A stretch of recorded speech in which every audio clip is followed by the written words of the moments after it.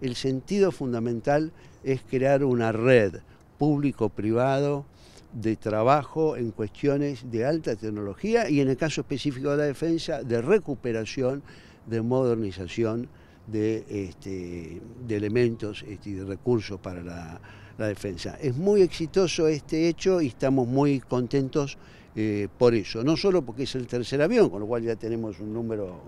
este, significativo y van a seguir creciendo porque ahora en agosto llega el cuarto, y es muy significativo esta modernización de los tucanos, porque es una muestra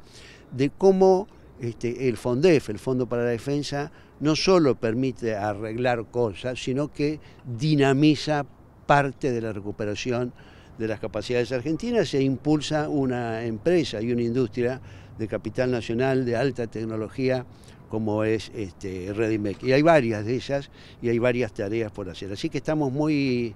muy contentos de lo que esto muestra como,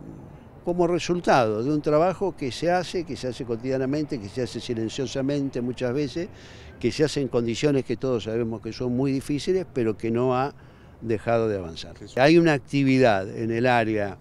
este, de la Fuerza Aérea que tiene que ver con una cosa elemental, que es ver la dimensión de la Argentina y la importancia de las comunicaciones aéreas. No, no, no, este país no puede desarrollarse sin buenas comunicaciones aéreas. Y las comunicaciones aéreas tienen una parte comercial,